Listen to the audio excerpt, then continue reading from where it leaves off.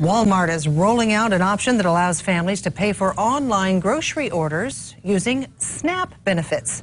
Now, this makes the retailer the first to offer this method for online grocery pickup customers at scale. Uh, Walmart began piloting the program in 2018.